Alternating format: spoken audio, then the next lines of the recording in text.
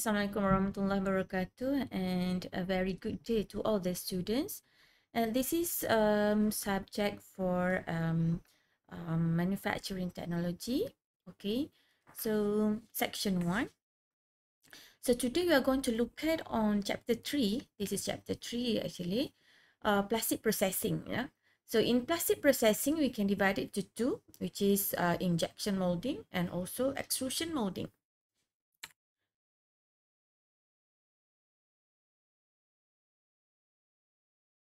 Um, now let's look at um, what what are we going to learn in injection molding.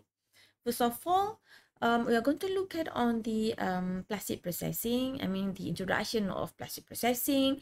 What are the process and equipments uh, involved? Um, uh, what types of machine that is going to be used? Uh, types of products being produced from uh, this process, and um, are they categorized under in the injection molding, which is a compression, blow molding, and last but not least, we are going to look at on product design and consideration under uh, injection molding. Um, so in general, uh, plastic processing is actually a very fast process and um, it can produce a various uh, various uh, geometries of the product. However, it depends. I mean, this process actually depend on the um, uh, mold itself. The more complex the mold, uh, the, the, the, the more complex uh, of the mold, then the, uh, uh, the, the cost to produce that mold will be much more higher. And normally uh, from this process, no finishing uh, steps is required. So uh, uh, lesser in cost in that section. And then um, uh, to produce the plastic, plastic actually uh, only need, I mean, uh, the, the properties of the plastic itself, it has lower temperature and therefore lesser energy is, um, uh, is used to produce uh, or to shape the plastic. And due to its lower temperature, uh, uh, handling of the product is much more simpler and easier for plastic shaping process. Okay, and again, finishing parts, uh, finishing steps for plastic normally uh, is not required because the mold itself have been designed to produce a final product. Um, typical plastic uh, types of plastic that is suitable for plastic processing is thermoplastic and thermosets. In our previous lecture, uh, these terms, these two terms have been introduced to you, which is a thermoplastic and thermoset whereby thermoplastic actually uh, it can melt under heat after curing. I mean in general, yeah. Whereas for thermoset, plastic uh, retains their form and stay solid under heat once it is cured. These are the examples for uh, thermoset and thermoplastic products. For example, uh, poly polyamide, polyamide, um, chairs, um, uh, plastic bottles and so on so forth. Whereas for thermosets like epoxy resin melamine floor or melamine table and so on so forth. Um the process for injection molding in general it starts with um heating the plastic and then uh, it is being injected into mold cavity. After that we let it cool and solidify. Before we eject the product which is called as molding. The final product is known as molding. And the finished part is actually the net shape, which means that uh, we don't need additional uh, finishing steps um, for uh, that product. The process is very fast and uh, can produce complicated uh, part. However, again, uh, the more complicated of that mold, then the higher cost is needed to produce such product. And uh, these types of process are actually suitable for thermoplastic. Now let's look at the equipment and the process of the inje injection molding. If you can see from this figure, it can be divided into two sections, which is injection unit and clamping unit. Okay, and the overall machine that can be found in our lab is um, such as follow. Okay, now let's look at one by one.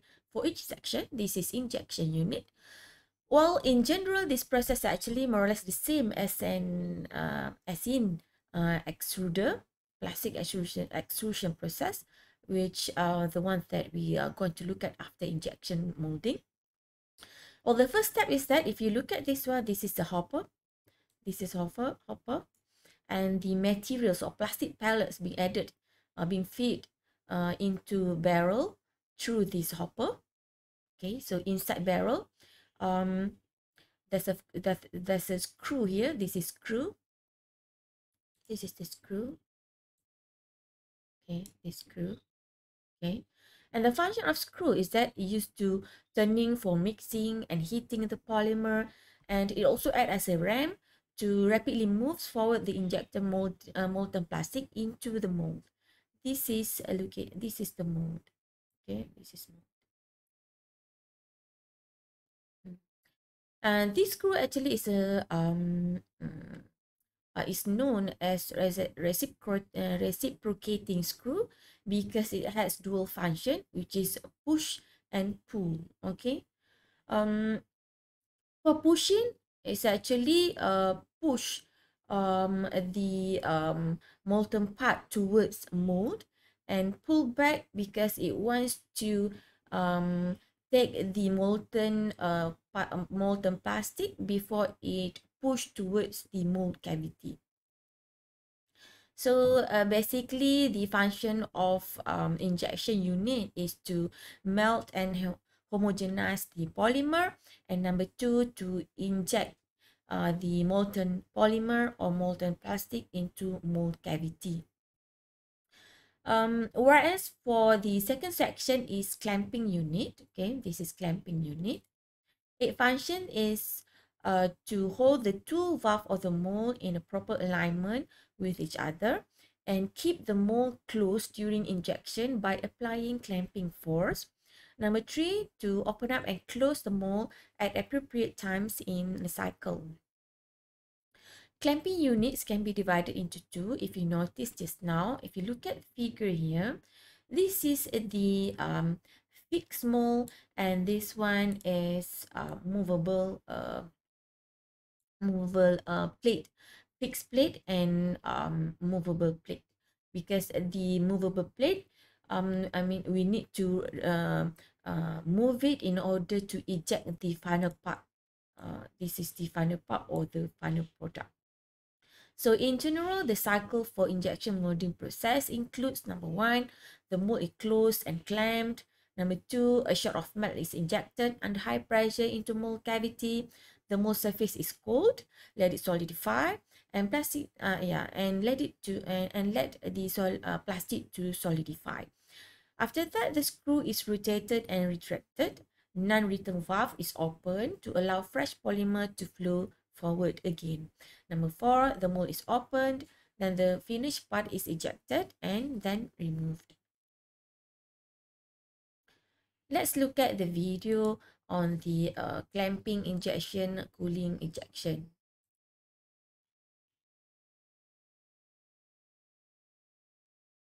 Clamping and then injecting the molten plastic. After that, let it cold and solidify. If you notice the screw is pulling uh, forward uh, and backward and then injection.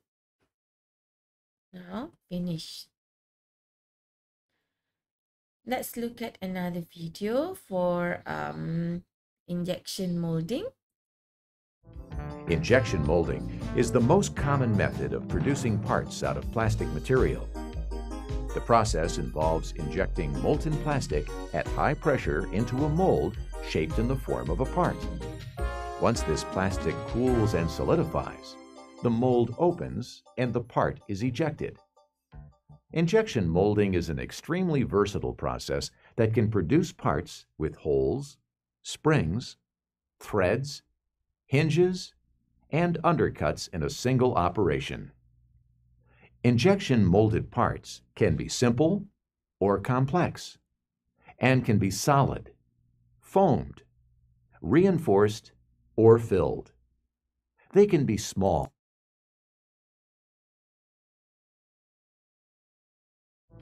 Injection mold shaped in the form of a part. Once this plastic cools and solidifies, the mold opens and the part is ejected.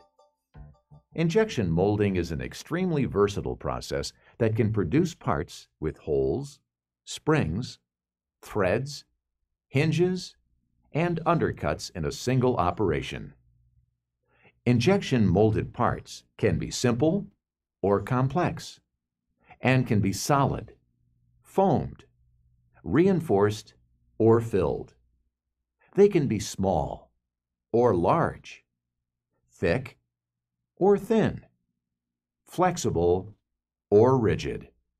Injection molded parts also lend themselves to endless decorative effects. They can be polished, textured, hot stamped, plated, colored, or clear. No other manufacturing process offers the range of capabilities injection molding provides. Injection molding machines range in size and complexity from desk-size units up to machines the size of a small house. All injection molding machines are a combination of two systems, an injection system and a clamping system. The injection system heats the thermoplastic material to its appropriate viscosity or flowability and then forcefully injects it into the mold. There are two types of injection mechanisms, the reciprocating screw, which is the most common, and the two-stage screw. The main parts of the reciprocating screw injection system are the hopper, a reciprocating screw inside an externally heated injection barrel, a hydraulic motor, and an injection cylinder. Resin material is fed to the injection barrel from the hopper. These hoppers may be filled manually or vacuum fed automatically and often have dryers attached to the top to remove the moisture from the material. As the resin enters the injection barrel, it is driven forward by the rotation of the screw which is powered by the hydraulic motor. The resin plasticizes or melts as the turning screw drags it towards the nozzle end. This is referred to as drag flow. Drag flow causes the polymer molecules to slide over each other, creating frictional heat, which melts the material. External heating bands provide additional heat to the injection barrel. The heating bands bring the material to its final temperature and compensate for the radiation heat loss. The temperature is controlled by three thermocouples in the barrel and one in the nozzle. The screw consists of three zones. The first zone, which is one half of the screw, is called the feed zone. It has a constant flight depth, which forces the material together and rids it of air. The second zone, called the melt zone, has a decreasing flight depth, which reduces the plastic volume. This causes the plastic molecules to rub harder against each other, plasticizing the material. The melt zone leads to the third, or metering zone. The metering zone has a constant flight depth much smaller than that of the feed zone. This section acts as a pump the tip of the screw has a one-way valve which lets the material flow only towards the nozzle end. The force of the plasticized material pushes the screw back as it turns. This builds a chamber of plastic in front of the screw. When enough material for the injection shot is melted, the screw stops and pulls back to decompress the material. For injecting the material, the one-way valve closes as the screw is hydraulically pushed forward by the injection cylinder. This sends the molten material through the injection unit's nozzle and into the injection mold. The primary speed and the injection pressure, called the packing pressure, is high, usually around 20,000 psi, but sometimes reaching up to 30,000 psi or higher. A secondary lower pressure is applied shortly after the initial injection. At the time of injection, the material's temperature ranges from approximately 320 to 600 degrees Fahrenheit, or 160 to 320 degrees Celsius. Once the plastic solidifies, no more pressure can be exerted upon it in the mold. The reciprocating screw then begins to rotate again, melting material for the next shot.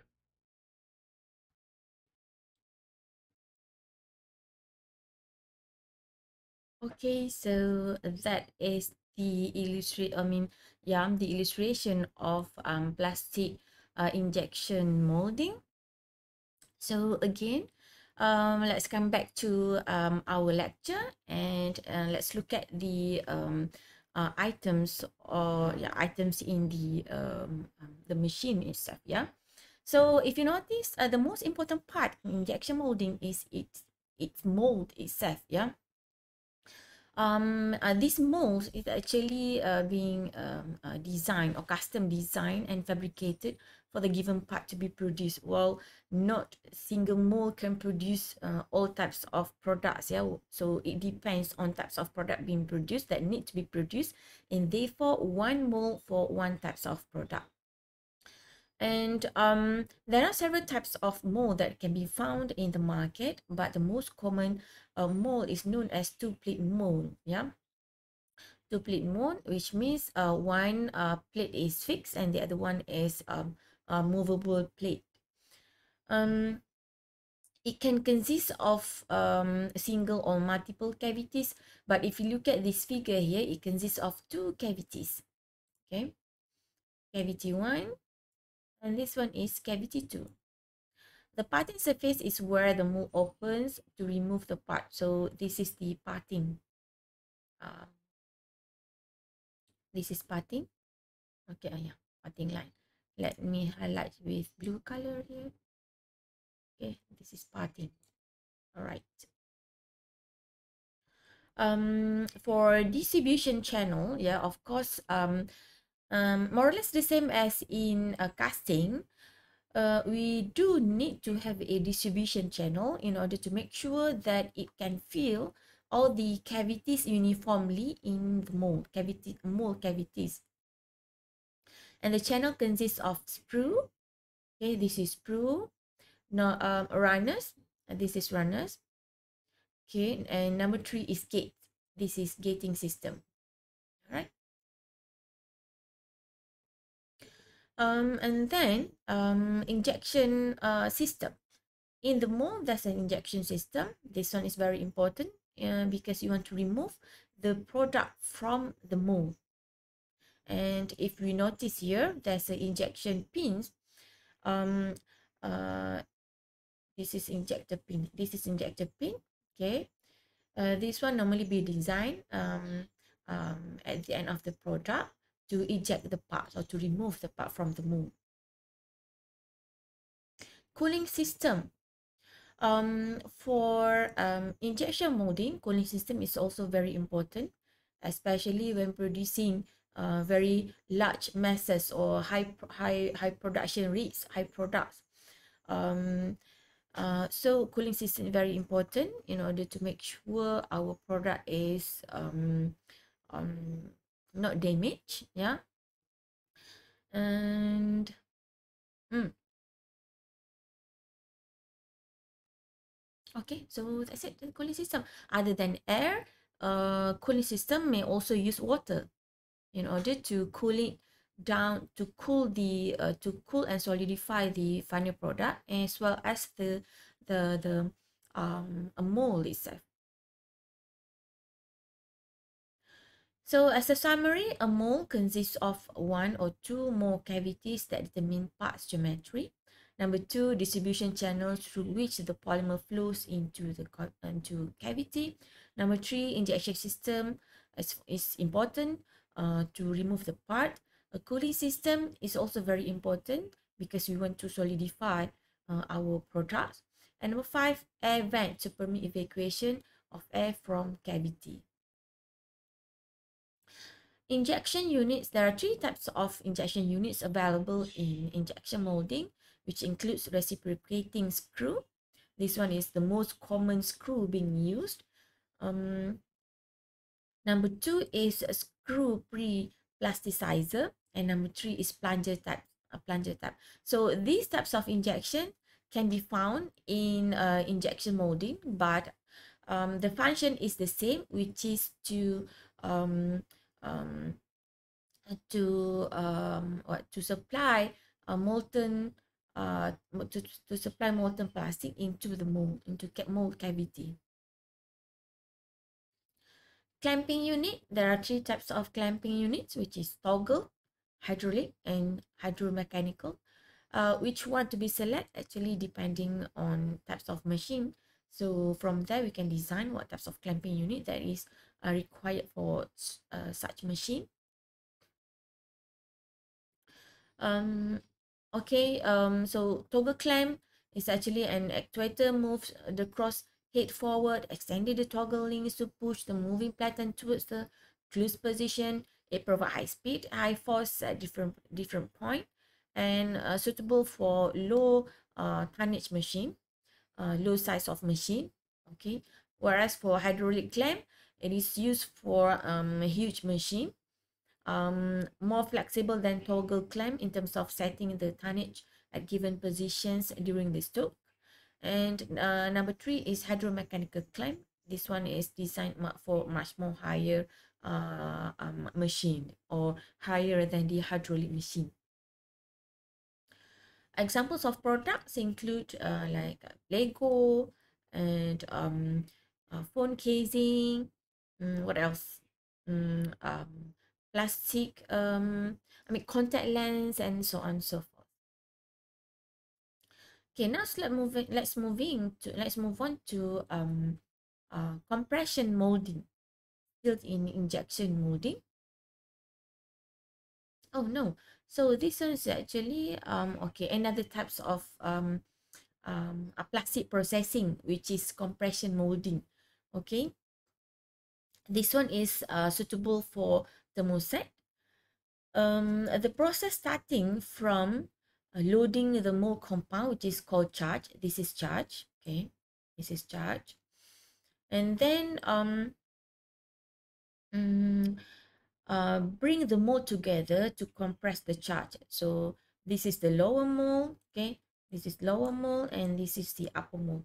Bring together to press the charge.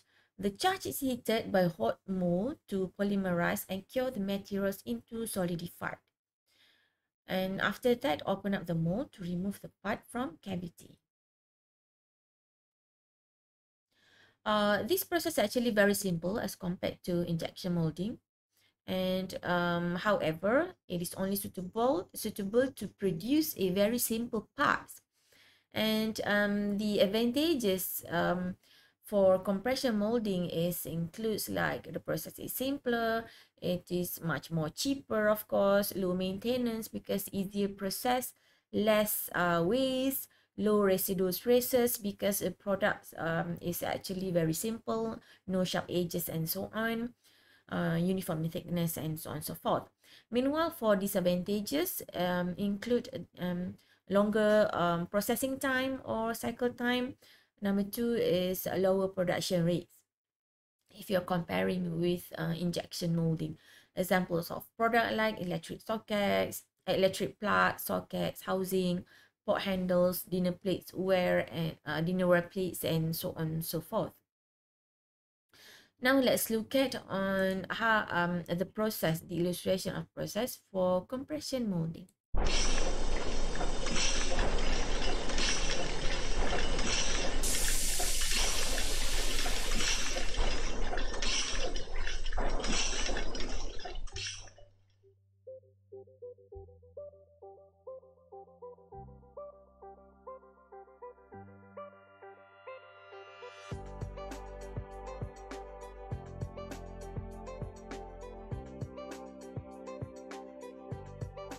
Recognized as a premier supplier to the chemical industry, J.A. Harrison & Co.'s dedicated PTFE and engineering plastics facility gives us a complete in-house capability to produce a wide range of components, as well as semi-finished billets.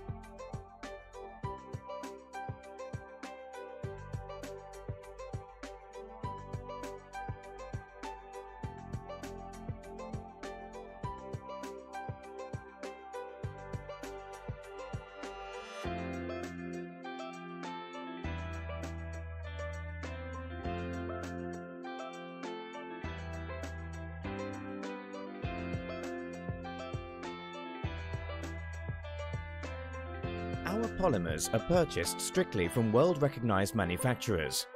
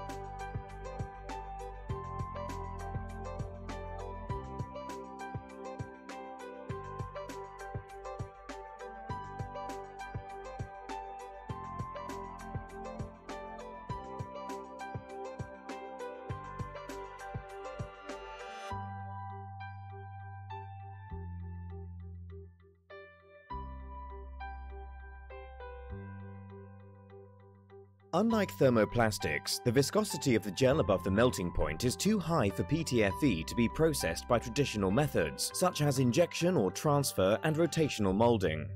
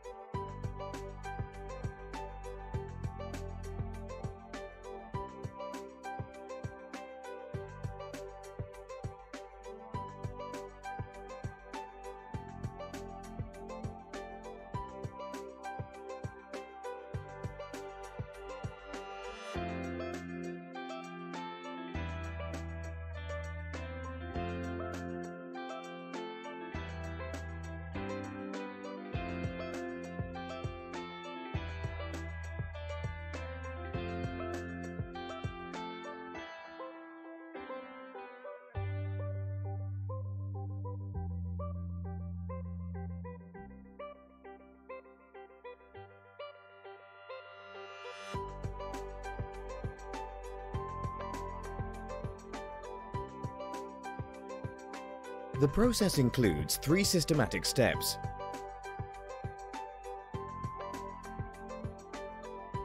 One, compression of the powder at ambient temperature.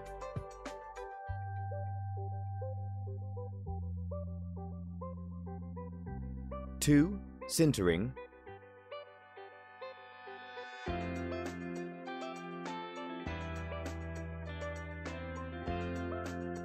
Three, slow cooling. J.A. Harrison can supply filled or unfilled PTFE.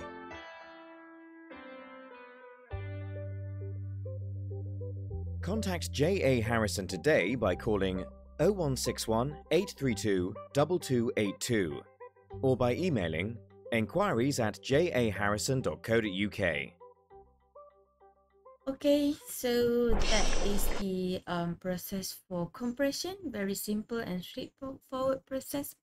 Okay, now let's move on to another types of uh, plastic processing or uh, plastic um, forming, yeah, plastic process, which is blow molding. And This one is suitable for a thermoplastic as well. Uh, so um, in blow molding, air pressure is used to inflate uh, soft plastic into mold cavity. So instead of using molten plastic just now from previous process or powder plastic, for blow molding, it use soft plastic. Um, there are two important steps in uh, blow molding, which is uh, fabrication of starting cube, which is known as parison. Okay, so this is parison. Number two, inflation of the tube to the desired final shape. For this case, it's following a bottle shape. Once it is blow, then following the uh, mold cavity, which is bottle shape.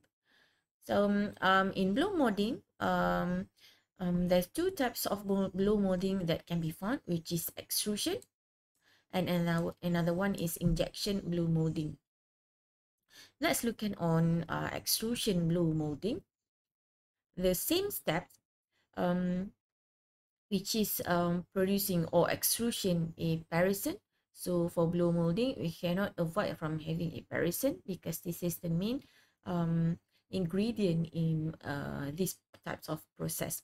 Number two, um, two mold comes together.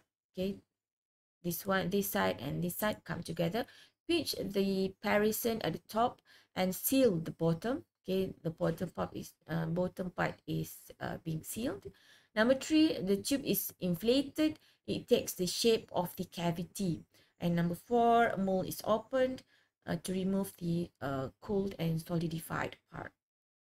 Let's look at the uh, process video for uh, uh, for blow molding. In the blow molding process, plastic is heated in an extruder until the plastic becomes a viscous fluid. Then, this plastic is extruded through a blow molding die to form a tube shape called a parison. A mold containing a cavity is closed around the parison.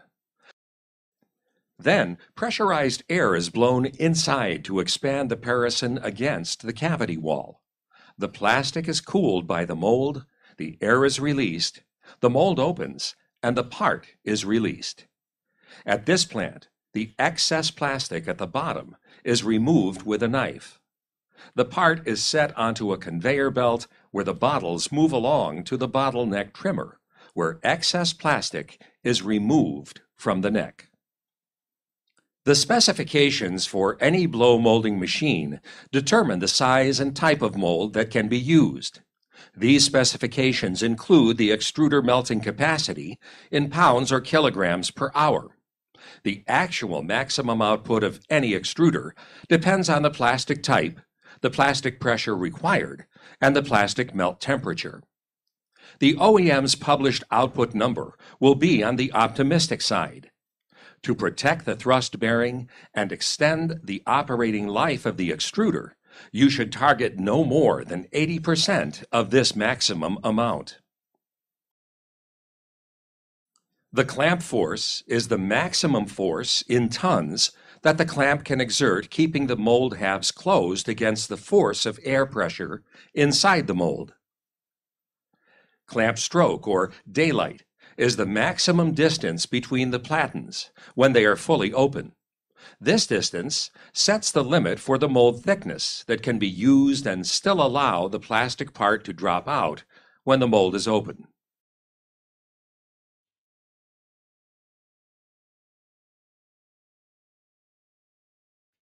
So um, that's in the blow molding. Uh, the process for extrusion blow molding. Now let's look at on the injection blow molding. The process is the same actually, whereby it starts with parison is injected around a, a blowing rod. And number two, injection mold is open and the parison is transferred to a blow mold. Uh, number three, the soft polymer is in, inflated to uh, for I mean following the shape of the mold. And finally, the mold is open, the bloom product is removed. Now let's look at the um, illustration for injection blow molding. Oops, sorry. Okay, injection is performed. Mold close, blowing the parison, and product being ejected. Okay, So now uh, let's look at on the product uh, design consideration. Um, for all types of product that is going to be produced, things that we need to consider is its uh, strength and stiffness. Whether the um we should whether the product uh, can be applied to a uh, to a um situation which involves high stresses. So we need to consider that because plastic is not uh, as strong as metal. Impact resistant whether the capacity of plastic uh, can absorb uh, impact um, um, uh, as I mean as high enough as required by the product and the by, by the uh, design. And then its service temperature. We know that plastic has uh, low temperature um, low service temperature uh, as compared to metals and ceramic. Thermal expansion um, because plastic is actually has a thermal expansion uh, higher than metals. Dimension changes it can be easily changes due to temperature variation so very difficult to control. And then the uh, degradation. Uh, plastic can easily degrade when exposed to sunlight and uh, as well as a corrosive environment. Uh, for example uh, salt water and plastic are soluble in many common solvents is compared to if compared to uh, metals or ceramic.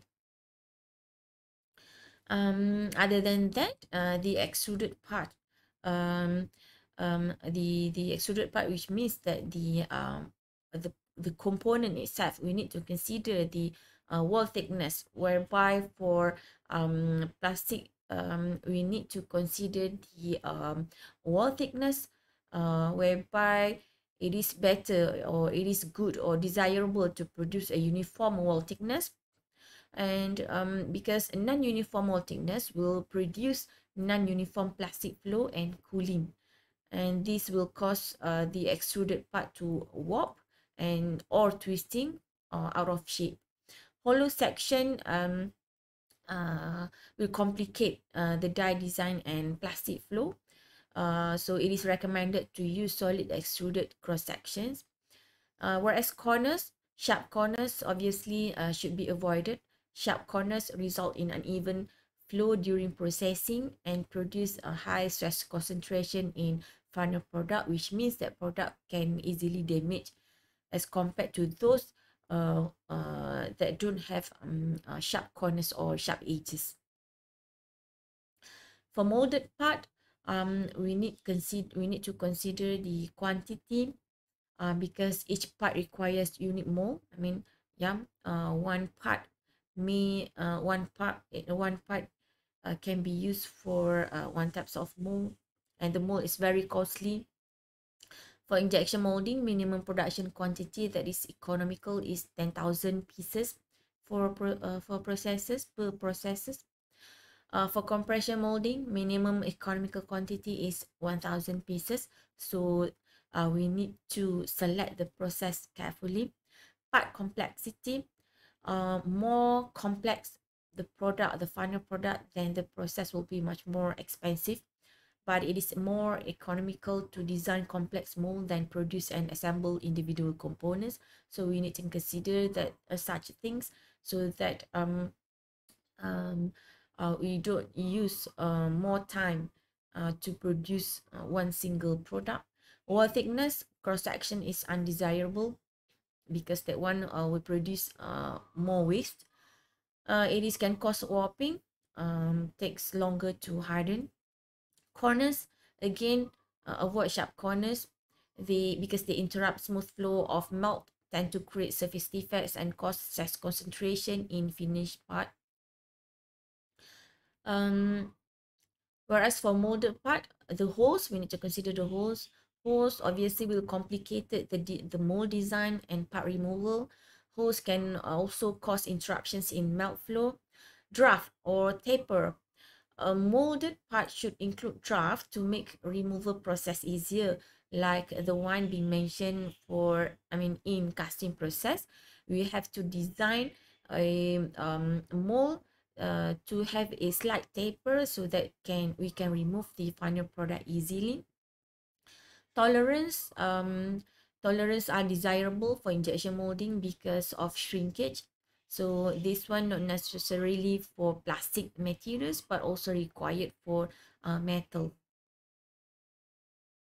Other than that we need to consider the uh, distortion um uh wall uh, die swell uh change uh, um I mean uh, the rib and so on and so forth. Well you can look at the design um in order to um uh, in order to have a proper design before you come out with what types of process is required to produce such products.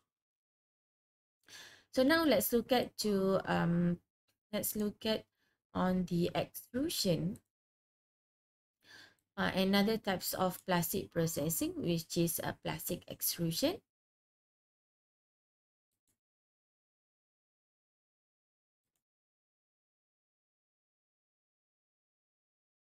Hold on yeah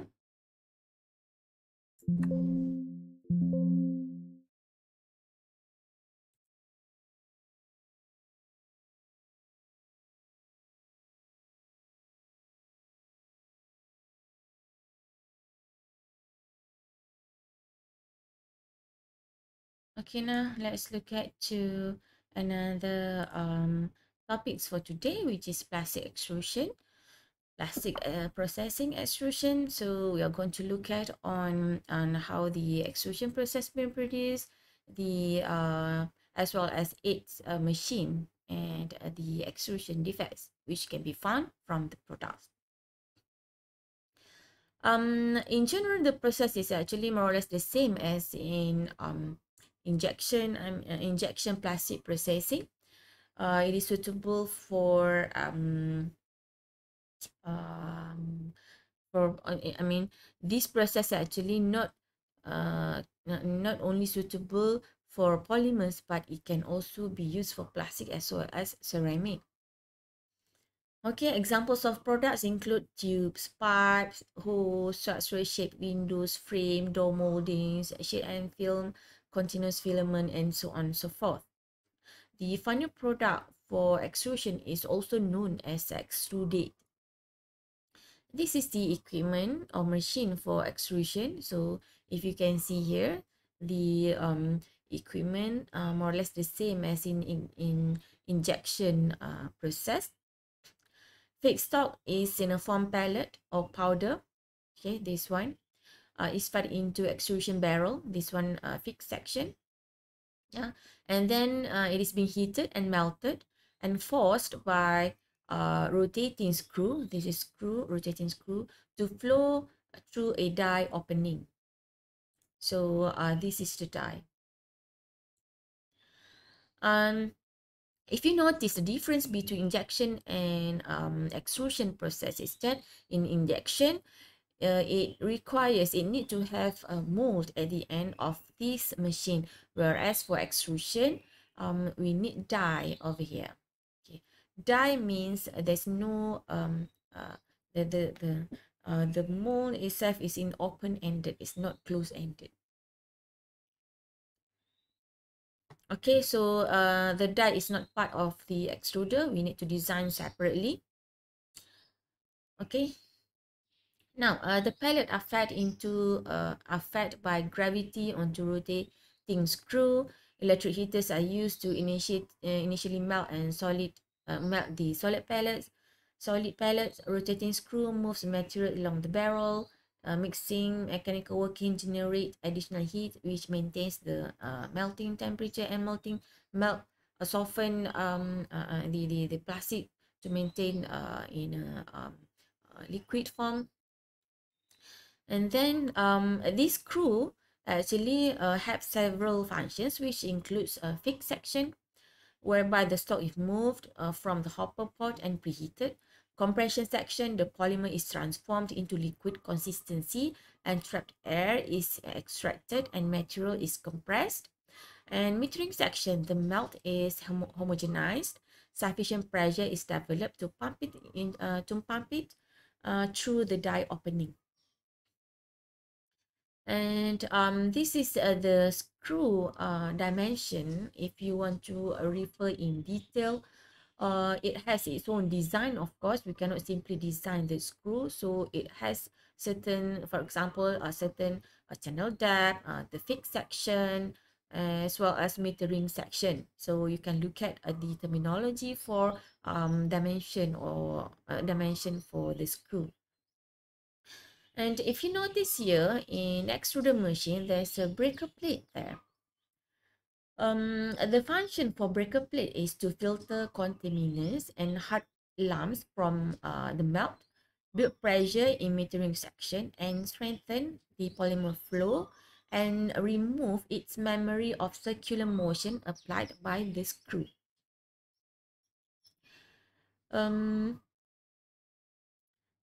other than that, there's a die configuration. The shape of die orifice determines the cross-sectional shape of the extruded or the final product.